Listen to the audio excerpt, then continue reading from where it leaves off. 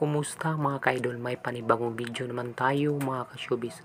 Ating pag-uusapan ngayon sina Janine Gutierrez at Paolo Abilino ang pinakasikat ngayon sa social media dahil marami ang napagbilib sa kanilang relasyon ng dalawa kasi super strong ang kanilang relasyon at super sweet ang dalawang ito.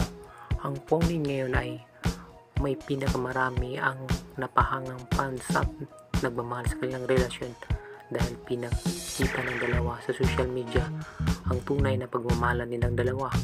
At ngayon mga kaidol ay nagiging strongest ang kanilang relationship sa isa't isa. So yun lang po mga Kabinido TV at salamat po sa panonood sa inyo. Salamat.